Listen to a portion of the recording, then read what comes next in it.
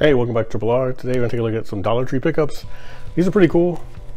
It's Batmobiles at Dollar Tree. So it's like uh what's this one?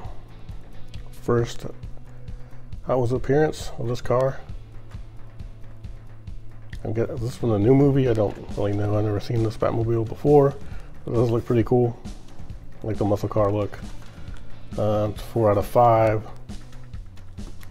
So inspired vehicles. All right pretty cool. And then they had a few of these. I picked up, I thought it was kind of all right. DC Batman Eraser Pack. So this Batman is the same kind of puzzle uh, art that's on the puzzles that are Dollar Tree a lot of the times. And your bat signal for your number two pencils there.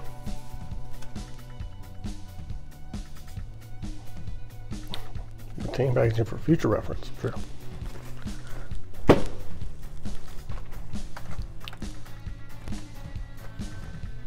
All right. You know what? Let's open it up. Let's check it out here.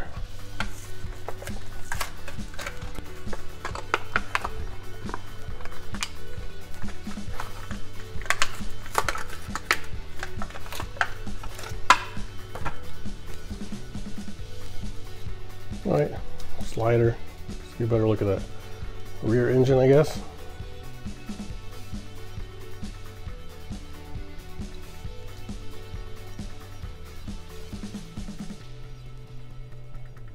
So 2020 came out then. Well, it's cool to see. Like I said, this is the only um, Batmobile inspired one they had at Dollar Tree, so I grabbed it. And then I also grabbed another one, so I'll keep in the package. You know, I said I wasn't gonna really do that, but it's a dollar, why not? Pretty cool works. So you may have different ones in your area, but uh, if you like Batman, Batmobiles, these are always cool cars for Hot Wheels collectors slash Batman. Thanks for watching Triple R. Have a good day or night, wherever you are.